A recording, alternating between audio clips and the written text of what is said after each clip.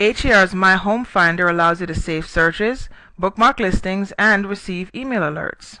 Select the Find a Home button on the left, and then over here you're going to go ahead and click on the sign up link.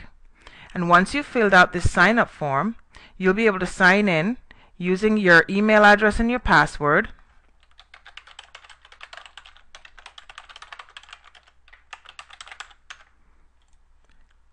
And once you've logged in, you'll be able to save searches and run those searches at any time. You'll also be able to get alerts when your search criterias have updated information on properties that you have uh, uh, inside that search criteria. So what we're going to do today is let's go ahead and create a, a search and save it. We'll go over here to the left, click on single family homes, and I'll put in a price range here real quick. We'll do, let's say, uh, 200,000 between 200,000 and 250,000.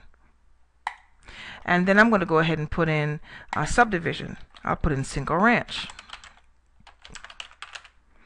And then after I select that, I can go ahead and save my search. When I add all the search criteria, let's go ahead and say maybe we put in an area pool and that it has to have um, a sprinkler system.